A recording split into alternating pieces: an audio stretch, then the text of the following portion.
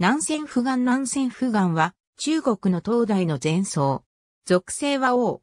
帝州新帝県の出身。757年、10歳で新帝にある大海山の大江禅寺に入門し、仏道修行に励んだ。777年、30歳で中岳須瀬に行き、具足会を受け、改善寺の公立史について四分律を学んだ。その後も学問を続け、今日は、両画行や、華厳行を学び、論は三論を学んだ。後に、馬祖同一に入門し、教学を捨てるに至った。馬祖のもとには、多くの優秀な修行像がいたが不願は抜きんでた前者であり、馬祖は、ただだ、不願のみあって、一人物買いにご縁と誕じた。795年、48歳で、池州池陽県の南仙山に全員を構え、三十数年間、南仙山を下ることがなかった。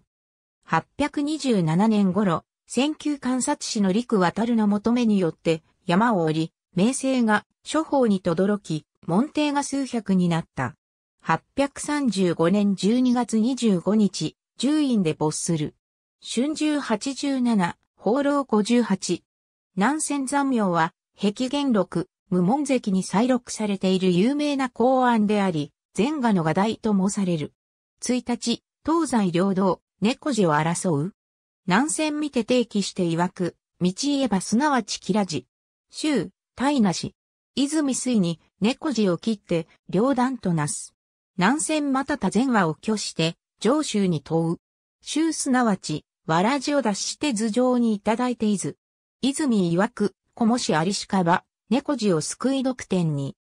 後藤へ現象公は、中国前回の巨匠たち、117から118ページ。